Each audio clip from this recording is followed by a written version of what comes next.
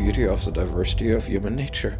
There is no specific cutoff or specific date, and there's really not even necessarily a good reason not to apply the increased depths of field, that modification that helps us to obtain that with a primary laser vision correction well under 40, uh, you wouldn't need the difference between the eyes because at that point you'd be more than happy with your best corrected distance vision.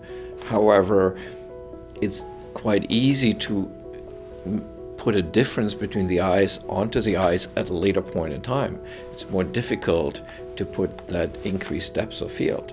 So if you're over 30, it may well be a, a reasonable thing to apply the PRESBYOND what we call treatment profile to obtain certain things that may be more difficult to put on later.